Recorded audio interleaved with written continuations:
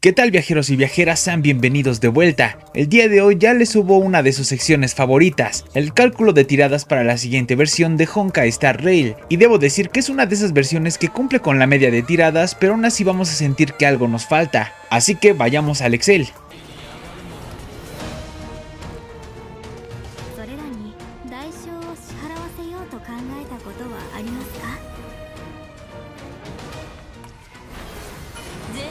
存在。ここにと。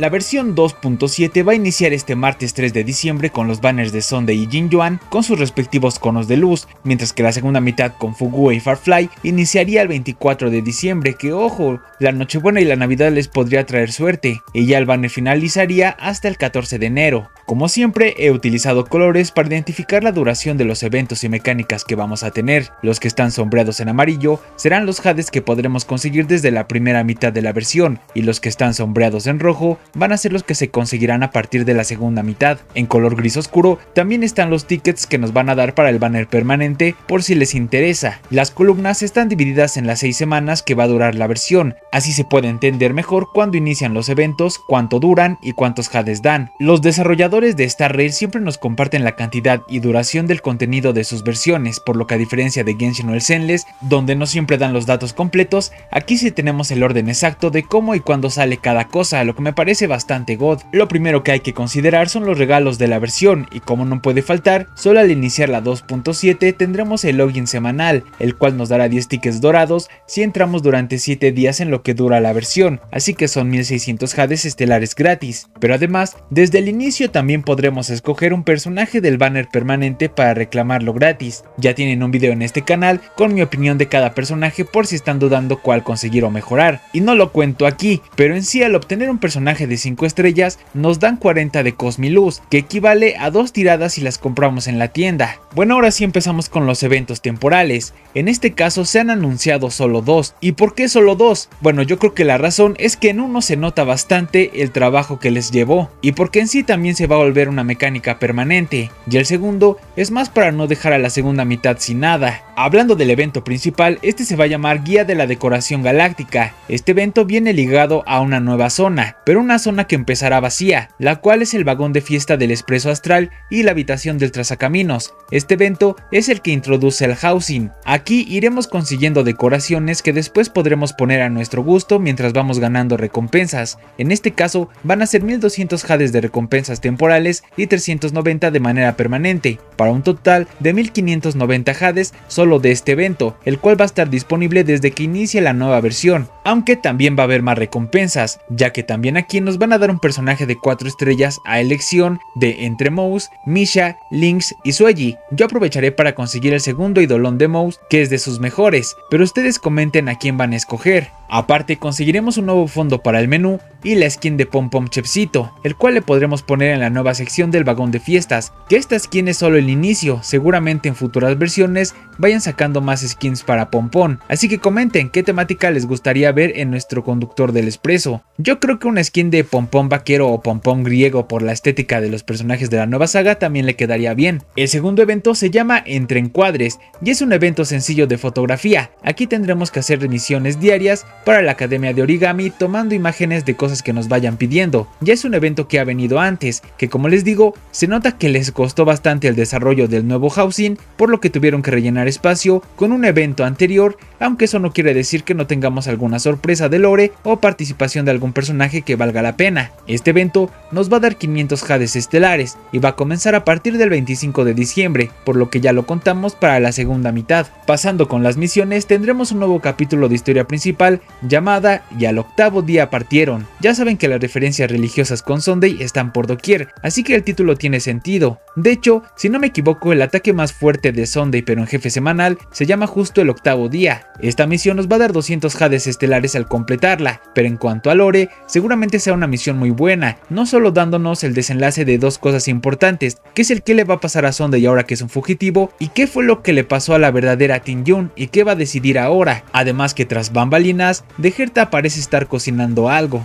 Continuando, por cada prueba de personaje legendario nos dan 20 Hades, así que tenemos 40 para la primera mitad por las pruebas de Sonde y el general Jin Yuan, mientras que en la segunda mitad por las pruebas de Fugue y Farfly. Los encargos diarios nos dan 60 Hades estelares, así que tendremos 1260 para cada mitad, lo que en este juego es bastante fácil de hacer. Entran, gastan su energía, realizan un encargo y ya tienen sus Hades sin falta. El universo simulado en cada semana nos da Hades estelares, los cuales dependen de qué rango de trazacamino seamos, a partir del rango 65 ya nos dan los 225 Hades que es lo máximo por semana, aunque cada 5 niveles que estén por debajo de este rango les van a dar 30 Hades menos, por lo que si son de rango 60 obtendrían 195 Hades por semana, si son de rango 55 les darían 165 y así va decayendo, pero con todo el contenido que ya ha salido es fácil que un nuevo jugador llegue rápido al rango 65, por lo que siempre contamos los 225 Hades. Otra cosa que contamos cada semana es el ticket para el banner permanente y un crédito para la tienda de Gerta, los cuales nos sirven para comprar conos especiales y hasta conos de eventos pasados, además de que es muy probable que en la 3.0 metan un nuevo cono a esta tienda que sea de la vía de la reminiscencia, por lo que seguramente valga la pena comprarlo. Así que no se olviden de completar su puntuación semanal. Les recuerdo que esta puntuación se puede hacer con todas las variantes del universo simulado, como la plaga, el oro y maquinaria, el universo desconocido y el divergente. En total para cada mitad por 3 semanas ganaríamos 675 Hades. Y hablando del universo divergente, este va a recibir una expansión de contenido, agregando 22 ecuaciones, 10 objetos